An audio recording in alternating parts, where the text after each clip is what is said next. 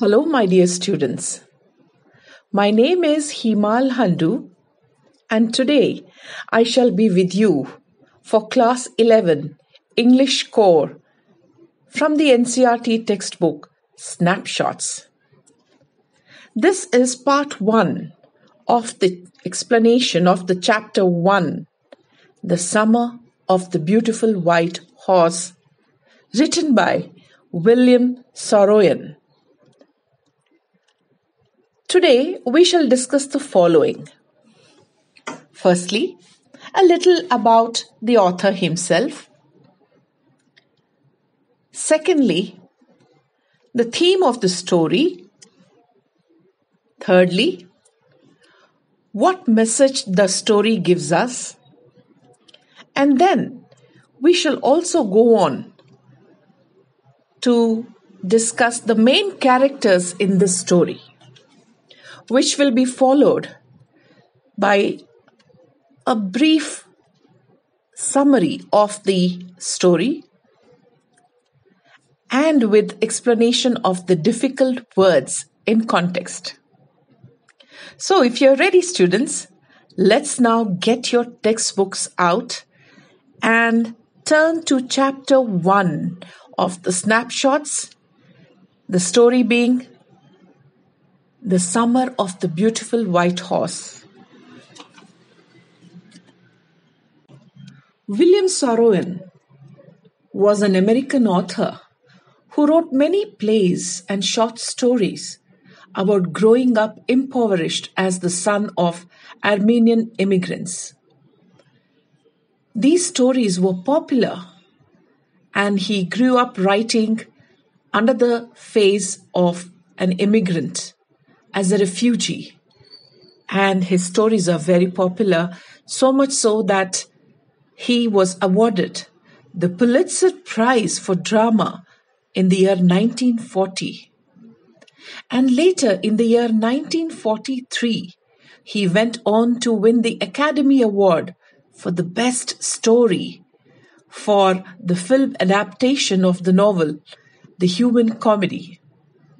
Students, I suggest in your free time, do go through this story of his. Now we shall go on to the theme of the story.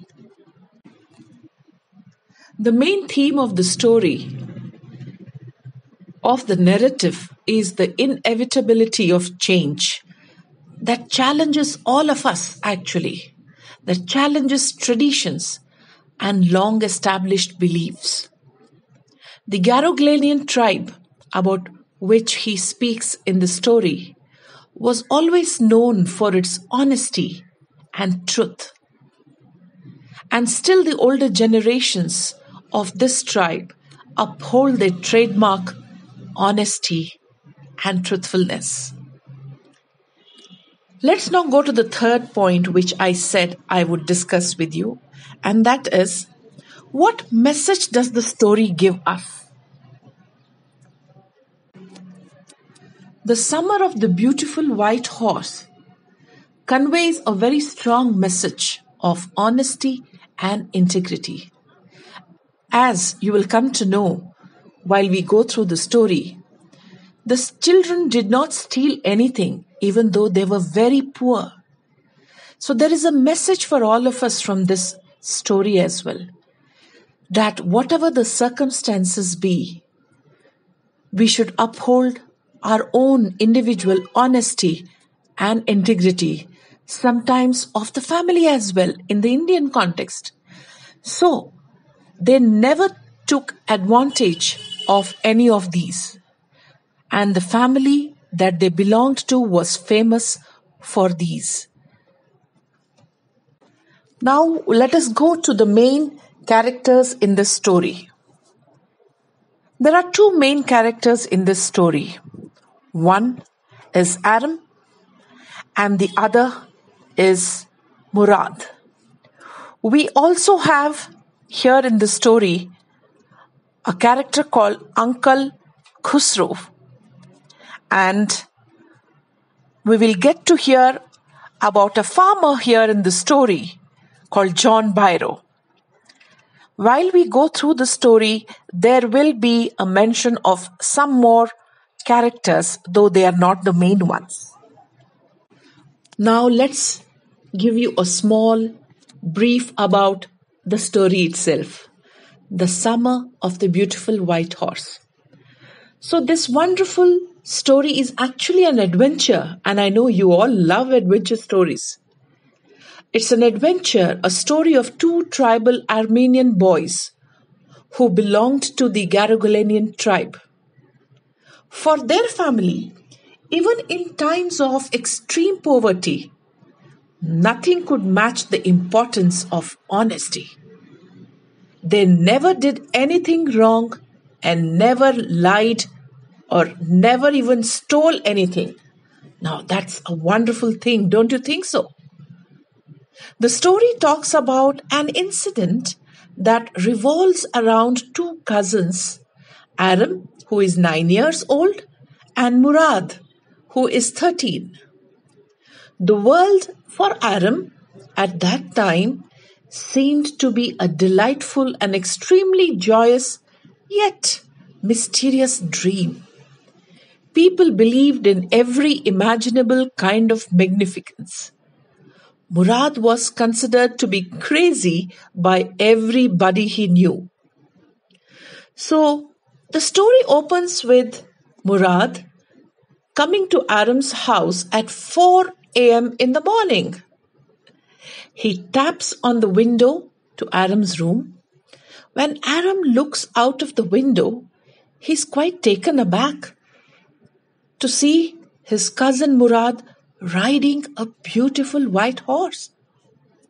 In fact, he is so dazed that Murad had to say, Yes, it is a horse. You are not dreaming.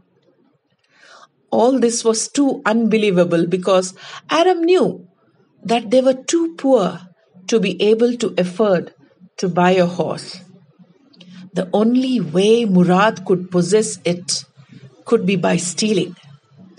They were too honest to lie and yet too crazy to ride a horse.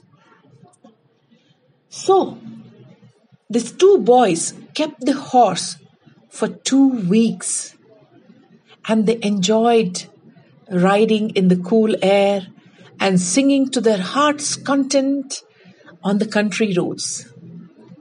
They hid it from the rest of the world by keeping it in a barn of the deserted vineyard. Meanwhile, Aram came to know that the horse was stolen from John Byro. They planned not to return it to him so soon, although it pricked their conscience to steal, which was completely not their ethics and tribal norms.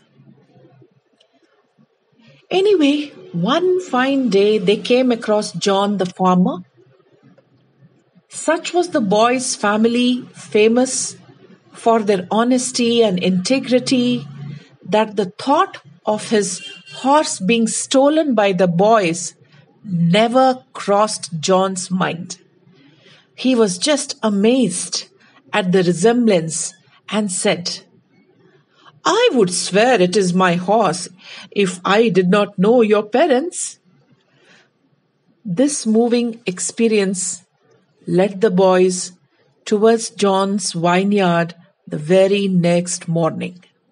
They left the horse in the barn and, patting it affectionately, let go of their dear horse. Later that day, John seemed to be very pleased and shared the news of the return of his horse with Aram's mother. So, the story, children, teaches us the importance and the necessity of honesty, even in the face of greed and passion. That's a small brief about the story. Okay, let's now continue Let's see if we have a few difficult words in the beginning. So, if you go through the lines on your textbook, we have Murad, who was considered crazy by everybody here, crazy is obviously, I'm sure you all understand, that's not very sensible. And then we go on to a word here. I stuck my head out of the window. Did you get that line towards the bottom of the page? This is Aram bringing his head out of the window in astonishment to see a white horse just standing outside. Let's turn the page over now. On the second page, the line goes like this.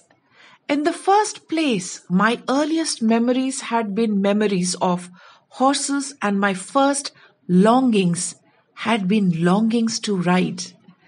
So the word longings here refers to his probably dream, his desire to have a horse ride. So all of us have longings for something. You long for something. You desire to do something. And here it is Aram's longing to have a ride on the horse. I shall end today's session with the next paragraph, wherein we have two difficult words probably for you. The para begins We were poor. We had no money. Our whole tribe was poverty stricken. Poverty stricken is poor, very poor, in fact. Every branch of the Garoghlanian family was living in the most amazing and comical poverty in the world. The most amazing, amazing is surprisingly very poor and comical. Comical poverty he is referring to the manner in which it looks so amusing that even in their poverty they found happiness, as you will see in the next few lines. So their poverty had an amazing and comical touch to it. We will close today's session based on this paragraph, and I am hoping that all of you will come tomorrow for the next session, but you would have read at least page 3 and 4 as well. As well. As well. As well.